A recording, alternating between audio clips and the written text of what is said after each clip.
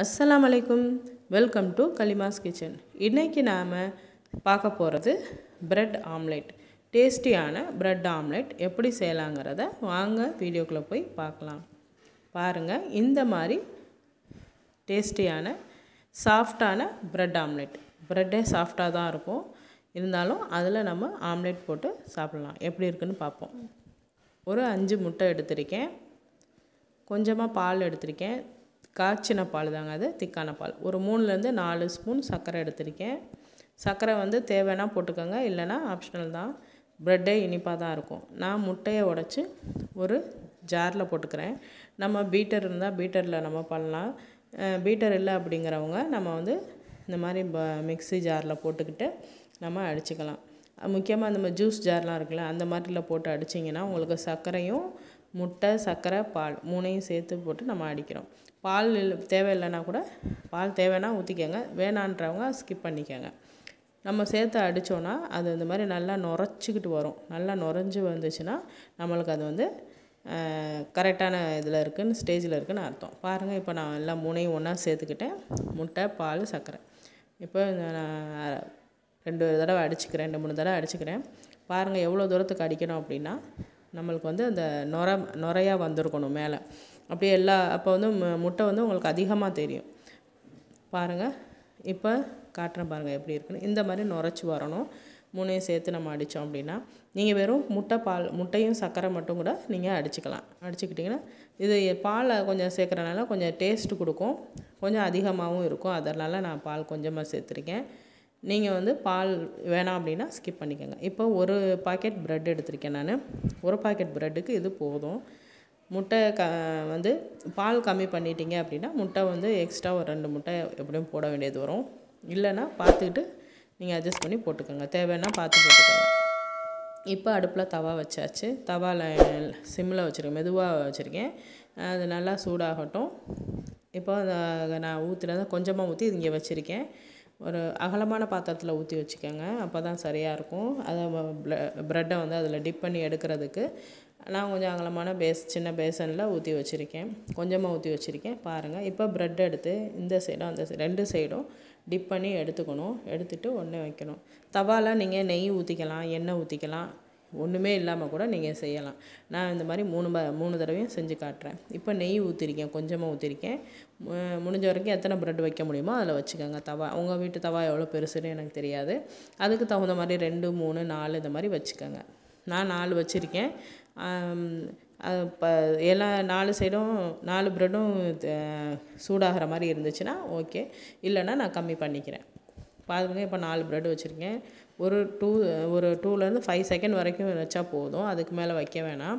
அதுக்கு மேலே வச்சிங்கன்னா கொஞ்சம் அடி பிடிச்சிக்கும். நம்ம நெய் அடியிலையும் ஊற்றிருக்கேன் இப்போ மேலாவாக கொஞ்சமாக நான் ஊற்றிக்கிறேன் பாருங்கள் நிறையா ஊற்றணும்னு அவசியம் கிடையாது. நான் வந்து டேஸ்ட்டுக்காக ஊற்றுறேன் நெய் ஊற்றிக்கிறேன் இப்போ ஃபஸ்ட்டு எதை வச்சோமோ அதிலேருந்து அப்படி திருப்பிக்கலாம் பாருங்கள் ஃபைவ் செகண்ட் மேலே வைக்காதீங்க. அதுக்கு மேலே வச்சிங்கன்னா லைட்டாக தீஞ்சிரும் அதுக்காக சொல்கிறேன் பாருங்கள் அந்த சைடு வந்து எடுக்க முடியல அந்த சைடு வந்து அனல் வரலன்னு நினைக்கிறேன். அதனால் நகர்த்தி விட்டுக்குவோம் ஃபஸ்ட்டு இதை எடுத்துக்குவோம். வ திருப்பின உடனே திருப்பி ஒரு டூ செகண்ட்ஸில் எடுத்துருங்க. அப்போ தான் சரியாக இருக்கும். பாருங்கள் இப்போ நான் இந்த ரெண்டையும் நாளையும் எடுத்துக்கிட்டேன். நாலு வச்சு நாளையும் எடுத்த எடுத்துக்கிறேன் பாருங்கள் ரெண்டு எடுத்தாச்சு இன்னும் ரெண்டையும் நான் எடுத்துக்கிறேன். இப்போ எடுத்துக்குவோம் அதையும் எடுத்துக்குவோம். சூப்பராக இருக்குது பாருங்கள் இதே மாதிரி மீதியையும் நம்ம வந்து போட்டு எடுத்துக்கலாம். இப்போ வந்து எண்ணெய் ஊற்றிருக்கேன் நான். எண்ணெய் ஊற்றி செஞ்சு காட்டுறேன் உங்களுக்கு. நம்ம எண்ணெயும் ஊற்றிக்கலாம் நெய்யும் ஊற்றிக்கலாம் என்ன வேணாலும் செய்யலாம். இதே மாதிரியே அந்த டிப் பண்ணி நம்ம போட்டுக்கலாம். நான் இப்போ வந்து மூணு தான் வைக்கிறேன். அந்த சைடு சரியாக வேகலை அதனால் மூணு தான் வைக்கிறேன் இப்போ. இப்போ இதையும் அதே மாதிரி ஃபைவ் செகண்ட் மேலே வைக்க வேணாம். Five second five to six second அவ்வளோதான் அதுக்கு மேலே வச்சிங்கன்னா தீஞ்சிரும் உங்களுக்கு. அடுப்பு ஆனால் நார்மலில் தான் எரியணும். மீடியத்தில் தான் எரியணும். ஹை ஃப்ளேம் இருக்கக்கூடாது லோ ஃப்ளேம் இருக்கக்கூடாது. லோ ஃப்ளேமில் வச்சிங்கன்னா லேட் ஆகும். நம்மளுக்கு ஃப டென் செகண்டாவது பிடிக்கும். இது வந்து நம்மளுக்கு வேலை சீக்கிரம் ஆயிடும் இது. கா சாயந்தரம் ஸ்நாக்ஸாகவும் கொடுக்கலாம். காலையில் பிரேக்ஃபாஸ்ட்டாகவும் நம்ம குழந்தைங்களுக்கு கொடுக்கலாம். டெய்லி ஒரு குழந்தைங்க நம்ம டெய்லி ஏதாவது ஒரு ஸ்நாக்ஸ் கேட்கும் நம்மளுக்கு. அதுக்காக நம்ம டெய்லி ஏதாவது ஒன்று செஞ்சு கொடுக்குறோம். அதில் ஒவ்வொன்று ஒவ்வொரு நாளைக்கு ஒவ்வொன்றா நம்ம செஞ்சு கொடுக்கலாம். இப்போ இன்னும் அடுத்த ஷிஃப்ட்டு போட்டிருக்கேன். அப்போ எண்ணெய் தான் ஊற்றிருக்கேன் மூணு வச்சு மூணு நாலு வச்சுருக்கேன். நாலு வைக்கிறேன். ஏன்னா இந்நேரம் தவா நல்லா நிறையா நல்லா சூடாக இருக்கும் அதனால் நாலு வச்சுக்கிறேன். திருப்பி போ இப்போ ஃபைவ் செகண்ட்ஸ் முடிஞ்சிருச்சு. இப்போ கொஞ்சமாக நெய் ஊற்றிக்கிட்டு திருப்பி விட்டுக்கலாம். எண்ணெய் கொஞ்சம் ஊற்றிருக்கேன் நெய் கொஞ்சம் ஊற்றி போ போடுறேன் மேலாவாக இப்போ நம்ம திருப்பி விட்டுக்கலாம் எல்லாத்தையும் பாருங்கள் ஃபைவ் செகண்ட்ஸ்க்கு மேலே ஆயிடுச்சு அதனால் லைட்டாக இதாகுது கலர் மாறுது. இப்போ அதை எடுத்தாச்சு. அடுத்தது வந்து பாருங்கள் ஃபைவ் செகண்ட்ஸுக்கு அப்புறம் எடுத்தது இந்த மாதிரி இருக்குது கொஞ்சம் லே- தவா சூடாயிருச்சுன்னு நினைக்கிறேன். பார்த்து தான் நம்ம இது பண்ணணும். இப்போ அதை எடுத்ததுக்கப்புறம் அதை எடுத்துருவோம். டூ செகண்ட்ஸ் வச்சா போதும். திருப்பி வச்சு டூ செகண்ட்ஸ் வச்சா போதும். நம்ம எடுத்துடலாம். பாருங்கள் ரெண்டு சைடும் வெந்துருச்சு. எடுத்துக்கலாம். ப்ரெட் ஒன்றும் வேகிறது பெரிய விஷயம் இல்லை. நம்ம முட்டையில் டிப் பண்ணியிருக்கிறனால அந்த முட்டை வேகிறதுக்கான டைம் தான். முட்டை வந்து த பாலும் சேர்த்து இருக்கிறனால சீக்கிரமாக வெந்துடும் அது கொஞ்சமாக தர முட்டை அதில் ஒட்டும். அதனால் இப்போ ஒன்று அடுத்த சுட்டு எண்ணெயே ஊற்றலை ஒன்றுமே ஊற்றாமல் எண்ணெய் நெய் எதுவுமே ஊற்றாமல் நான் போட்டு வச்சுருக்கேன். போட்டுக்க எடுத்துக்கலாம். சிம் இந்த மாதிரி எண்ணெயை ஊற்றாமல் வச்சிங்க அப்படின்னா கம்மியாக வைங்க. ரொம்ப அடுப்பை அதனால் கம்மியாக வைங்க. ஆனால் திருப்புறது ஈஸியாக தான் இருக்கும். ஏன்னா முட்டை தானே போட்டிருக்கோம். முட்டையில் தானே டிப் பண்ணுறோம் அதனால் வந்து எண்ணெய் இல்லைனா கூட உங்களுக்கு நல்லா வரும்.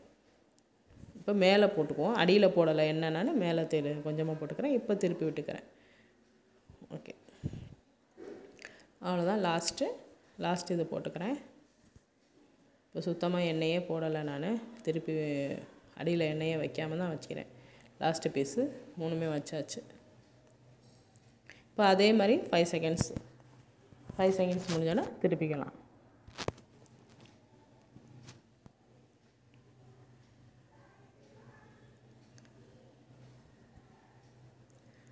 இப்போ நம்ம திருப்பிக்கலாம்.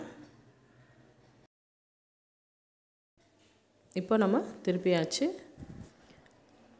எப்படி இருக்குன்னு பாருங்கள் கருகாமல் மேலே நல்லா நல்லபடியாக வந்திருக்கு. இதோட அவ்வளோதான் நம்ம முடிஞ்சிருச்சு. இப்போ டூ செகண்ட்ஸ் வச்சுட்டு அப்படியே நம்ம எடுத்துடலாம். இதுக்கு மேலே வைக்க வேணாம். அடுப்பை ஆஃப் பண்ணியாச்சு. அடுப்பு ஆஃப் பண்ணிவிட்டு கூட அப்படியே நம்ம வச்சுக்கலாம்.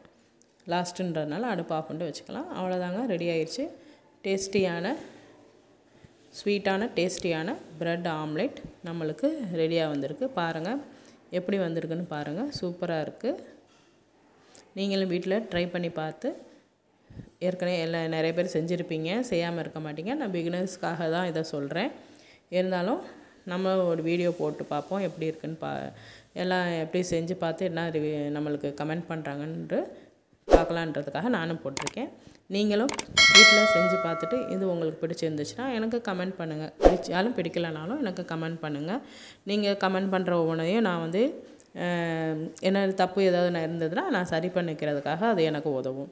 எனக்கு நல்ல நல்லதாக நல்ல கமெண்ட்டாக இருந்தாலும் சரி நான் என்னுடைய தப்பை க கண்டுபிடிச்சி சொல்கிற கமெண்ட்டாக இருந்தாலும் சரி நான் அதை ஏற்றுக்கிறேன் அதுக்காக இந்த வீடியோ ரெடி ஆயிடுச்சு ஓகே ஃப்ரெண்ட்ஸ் தேங்க்ஸ் ஃபார் வாட்சிங் இந்த வீடியோ உங்களுக்கு பிடிச்சிருந்துச்சுன்னா லைக் பண்ணுங்கள் கமெண்ட் பண்ணுங்கள் ஷேர் பண்ணுங்கள் ஃப்ரெண்ட்ஸ் ரிலேஷன் எல்லாத்துக்கும் ஷேர் பண்ணுங்கள் மறக்காமல் சப்ஸ்கிரைப் பண்ணுங்கள் பக்கத்தில் இருக்க பெல் ஐக்கானில் ஆளுங்கிறதையும் கிளிக் பண்ணுங்கள் அப்போ தான் நான் போடுற வீடியோ உங்களுக்கு உடனே வந்து சேரும். தேங்க்யூ